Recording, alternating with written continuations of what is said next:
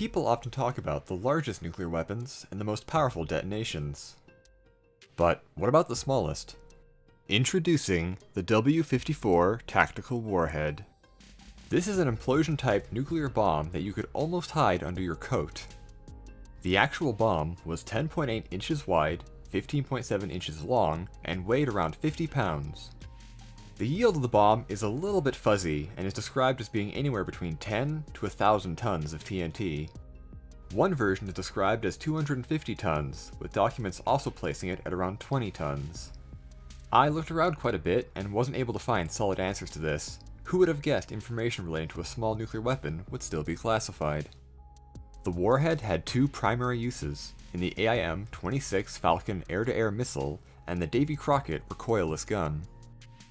The Falcon was intended to be used as a sure kill weapon against Soviet bombers.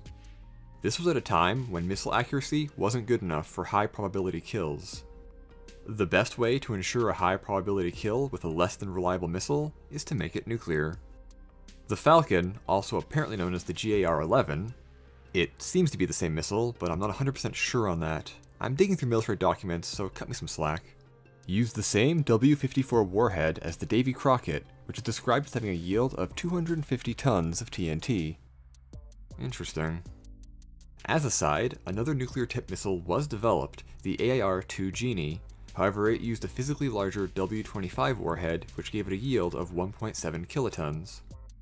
Although physically larger than the W-54, I do want to point out that 1.7 kilotons packed in something that I can toss in the trunk of a small car is kind of scary.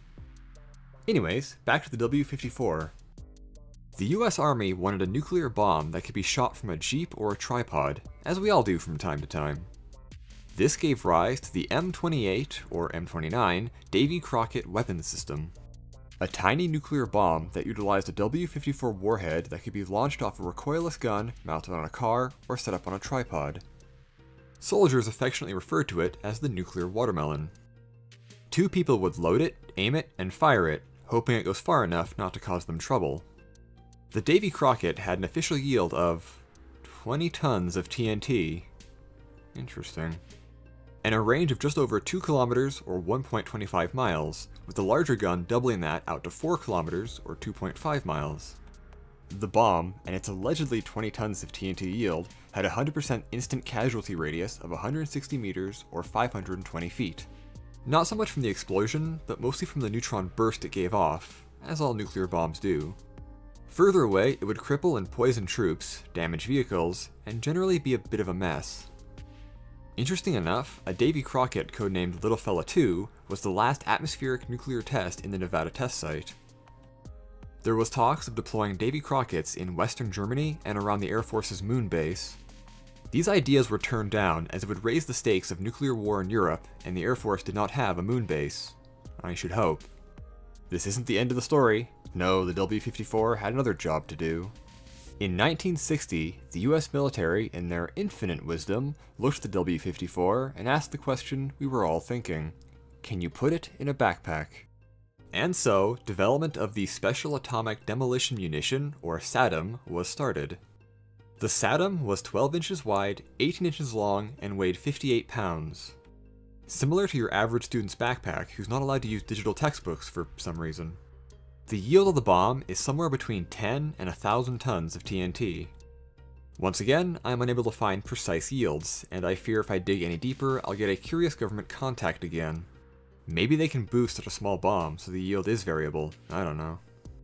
Anyway, the SADM was envisioned to be used on targets like bridges, dams, airfields, railroads, and other vital infrastructure. The bomb would be set, armed, and the soldiers would run away before it went off. How well that worked out is anyone's guess. A remote system did exist, so I guess they could get away from it, arm it, and continue running with a head start. If it was the 20 tons of TNT, then no problem, but if it was the 1 kiloton, eh, that raises problems. The W-54 was later retired and replaced with the W-72, which, surprise surprise, is a little difficult to find information on. I'm not sure of its dimensions, but it was made to fit in the AGM-62 Walleye and apparently had a yield of 0.6 kilotons. Or 100 kilotons. Hmm. This video is dragging on now, so here's a picture of a W-80 nuclear warhead that can also fit in the trunk of a small car, and has a variable yield of 5 to 150 kilotons. Little Boy was only 15 kilotons, for comparison.